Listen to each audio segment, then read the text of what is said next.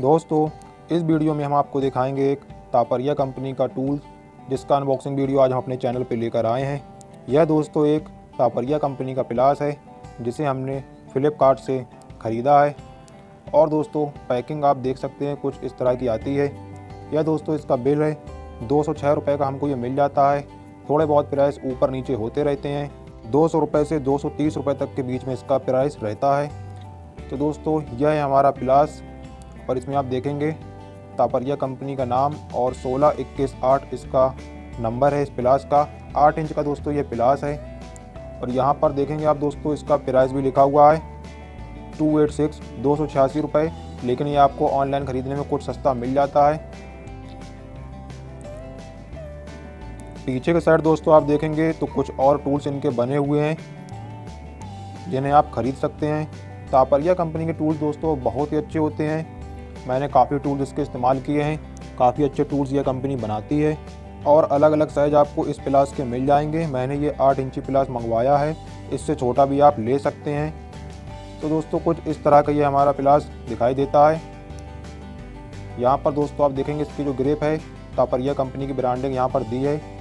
और इस जगह पर भी दी हुई है। दोनों साइड इसकी ब्रांडिंग है तापरिया कंपनी की। ऊपर की साइड दोस्तों एक ये पन्नी लगी हुई है और इसमें दोस्तों ऑयल लगा हुआ है, जिससे कि इसमें जो है ख़राबी ना आए। देखिए दोस्तों फिनिशिंग कितनी ज़बरदस्त है इसकी। क्वालिटी दोस्तों बहुत ही अच्छी है, जैसा कि मैंने पहले बताया। थोड़े से महँगे टूल्स होते हैं, पर दोस्तों बहुत ही अच्छे टूल्स होते हैं तापरिया कंपनी के। यहाँ पर आप देखेंगे तापरिया की ब्रांडिंग है। इनका लोगो भी बना हुआ है। बीच में आप देखेंगे, और सोलह, इक्कीस, आठ इसका तापरिया का प्लास का जो नंबर है, वो डला हुआ है। दोस्तों, क्वालिटी आप लोहे की देख रहे होंगे, एकदम मैट ब्लैक ये दिखाई दे रहा है। इसी तरह दोस्तों, इनके जो भी टूल्स होते हैं, उनके सबके लोहे की क्वालिटी दोस्तों बहुत ही ज़बरदस्त होती है। ग्रिप दोस्तों बहुत ही अच्छी है। यहाँ ऊपर के साइड आप देखेंगे, एक निशान दिया है यहाँ पर दोस्तों आप तार रख के काट सकते हैं, जो तार होता है, और इस जगह से भी आप देखिए, तार रख के काट सकते हैं। और आगे के साइड आप दोस्तों देखेंगे, काफ़ी फिनिशिंग इसके जो दांते हैं वो बने हुए हैं, बहुत ही फिनिशिंग है। और इसकी जो चौड़ाई दोस्तों, काफ़ी ज़्यादा है, इससे आप काफ़ी बड़ा बोल्ट चाहे खोल सकते हैं अगर खोलना चाहें तो। और साइज़ दोस्तों आप देखेंगे, एक फुल साइज़ का दोस्तों ये प्लास है। एक ये लाइन मैन प्लास है दोस्तों, आठ इंची। अब दोस्तों मैं आपको एक मार्केट का प्लास दिखाता हूँ। देखिए दोस्तों, यह एक लोकल प्लास है, कितनी बुरी हालत इसकी हो गई है। इसमें दोस्तों जो लोहा यूज़ होता है बिल्कुल थर्ड क्लास का, क्योंकि इसके प्राइस भी दोस्तों बहुत ही कम होते हैं। ये सौ से डेढ़ सौ रुपये के बीच में आपको मिल जाता है। और दोस्तों यह एक कच्चे लोहे का प्लास होता है। इसको आप ना खरीदें। थोड़े से दोस्तों अधिक पैसे लगाकर आप अच्छे टूल्स खरीद सकते हैं। तो आप ये तापरिया कंपनी के प्लास ले सकते हैं। कंपेयर करने में आप देखेंगे दोस्तों, तापरिया का हमारा जो प्लास है, वो थोड़ा सा इससे बड़ा भी है और थोड़ा सा हैवी भी है। देखिए दोस्तों दोनों में अंतर आपको साफ़ नज़र आ रहा होगा। इससे दोस्तों मैंने जो भी तार या जो भी कुछ काटा है, अब तक देखिए, ये कच्चा लोहा था दोस्तों, इसमें गड्ढे बन गए हैं।